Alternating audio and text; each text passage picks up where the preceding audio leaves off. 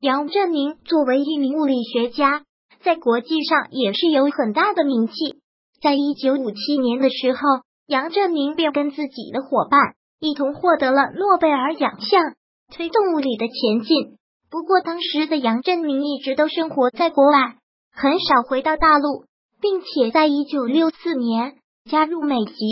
不过，在杨振宁九十五岁的时候，他便恢复自己的国籍。再一次成为中国人。接下来，我们便去看看杨振宁老先生的一生。杨振宁出生在一个教师家庭当中，他的父母对于教育非常的看重，为此在年幼的时候，杨振宁便受到母亲的教育，并且展现很好的学习天赋。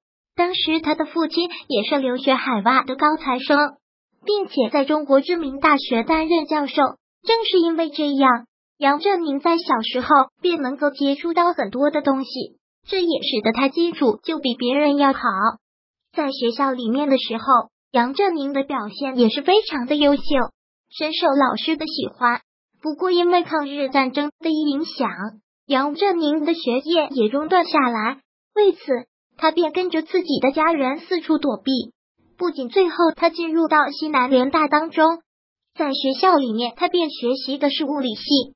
在学习物理的时候，杨振宁也是有着非常不错的天赋，并且得到老师们的赞赏。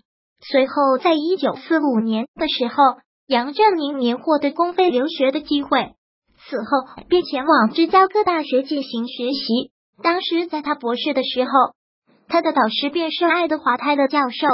从学校毕业之后，杨振宁便加入到美国的物理研究院当中。并且跟自己的伙伴李政道进行合作，两人在物理方面取得很大的进步。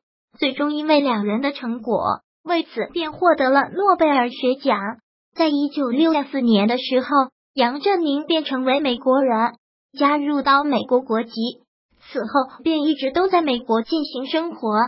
不过当时他的对于自己的国家也是非常的关注。当时美国正在跟中国进行对峙。杨振宁作为国际名人，常常会对中国的情况进行演讲，为此影响很多人。一些美籍华人也知道国家的情况，然后回国看望，为中国的科技事业做出不少贡献。当时杨振宁的演讲产生很大的影响，不少美国科学家对于中国的态度都是亲近的。一九七一年，杨振宁回国之后，便跟中国大学教授展开合作。并且取得不小的成果。此后，杨振宁还经常的回到国内，为学生进行上课，希望中国能够涌现更多的人才。二零一七年的时候，九十五岁的杨振宁正式恢复中国国籍。如果喜欢本视频，请分享并订阅本频道，别忘了按赞哦。